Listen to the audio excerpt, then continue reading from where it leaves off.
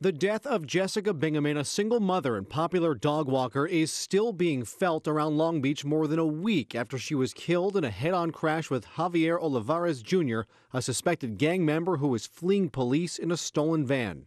He's completely devastated uh, that he found out that he had killed a, a woman. That is the suspect's girlfriend who is standing by her man. She puts much of the blame for the crash not on her boyfriend who is running from police, but on officers for chasing him through a residential area. It's sad that the cops are, are chasing people because this didn't have to happen. And in a cruel twist of fate, she used to work as a dog groomer for Bingaman and her clients. It took me a while to realize that it was her, but I took a good look at her on the internet and realized that she was one of my customers and it's um, it's sad that one of our own had to go the way she did. She was a nice lady. Bingaman was just 41 and leaves behind a 10 year old daughter. Javier Olivares Jr. has failed to appear in court two days in a row. He's due back again tomorrow to be arraigned on nine charges, including vehicular manslaughter, fleeing police, and six counts of animal cruelty.